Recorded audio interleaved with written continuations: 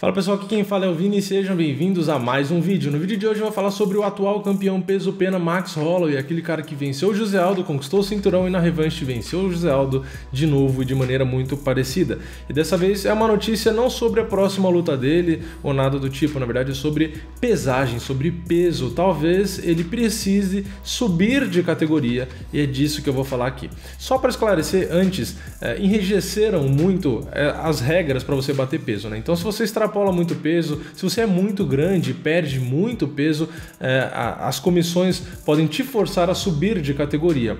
Né? Inclusive, estava lendo aqui também, amanhã tem o UFC Belém, né? Hoje estou gravando no dia 2 de fevereiro, então amanhã no sábado tem o UFC Belém. Michel Trator mais uma vez não bateu peso, então das últimas quatro lutas, três ele não bateu peso, e com isso, segundo as regras da comissão, ele também deve subir de categoria, ele não pode mais continuar na mesma categoria. Então, são essas regras que visam proteger a saúde do atleta e fazer com que eles não percam percam X porcentagem do peso também é, para poder lutar. Então, se o cara perde mais do que tantos por cento é, um dia antes da luta, ele não pode é, lutar, porque também faz mal perder peso demais, e esse tipo de regra, né?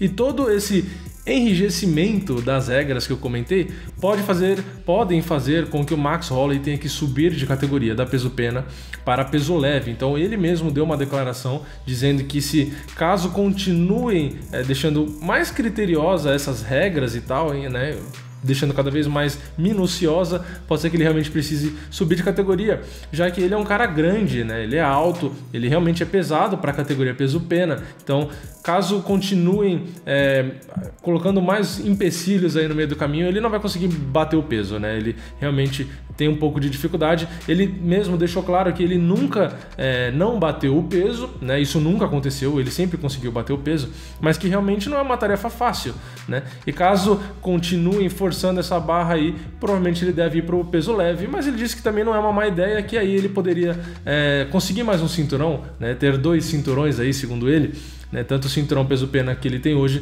quanto o peso leve, que foi mais ou menos o que o Conor McGregor fez, né? Pegou o cinturão peso-pena, subiu de categoria e pegou o cinturão lá de cima, né? E aí o que, que eu acho disso? Caso ele realmente suba, caso realmente ele precise subir, né? Meio que seja obrigado a subir.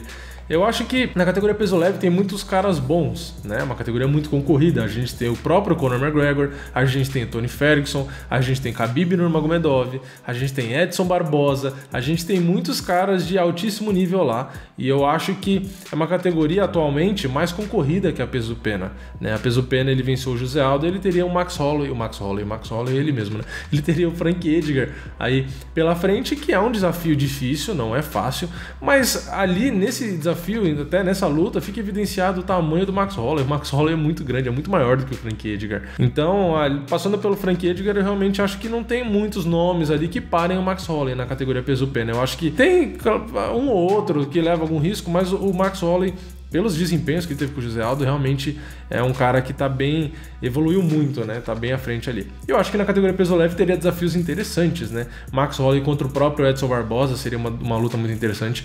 É, uma revanche com Conor McGregor, lembrando que ele foi derrotado pelo Conor. É, enfim, tem muitos duelos que seriam interessantes de assistir e que pode ser que acabe se tornando possível, né? Então, essa é uma notícia que eu vi aqui num site gringo, né? Eu nem, não achei ela no, no combate, né? Em nenhum outro site brasileiro, pelo menos eu não que eu procurei, não achei.